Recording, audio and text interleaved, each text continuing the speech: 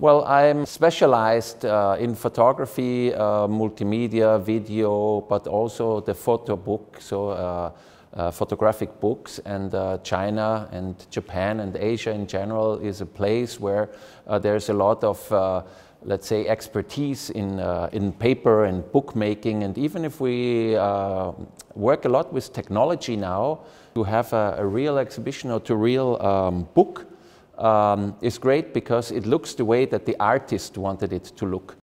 对，没错，是这意思。对对，是这样的。然后，然后那个正文的字要跟那个稍微小一点。嗯，对对对，是吧？对。You said the size of the main line is a little. But a bit small, yeah. Smaller. Yeah, of course.